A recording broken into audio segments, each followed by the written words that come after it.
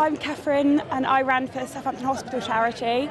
Um, I ran for them because in 2017 I lost my dad to cancer and the staff at the hospital were outstanding looking after him and supporting uh, my family afterwards. It's a really special charity and I wanted to raise awareness for them and just a bit of money to help support them so they can support other people in the future.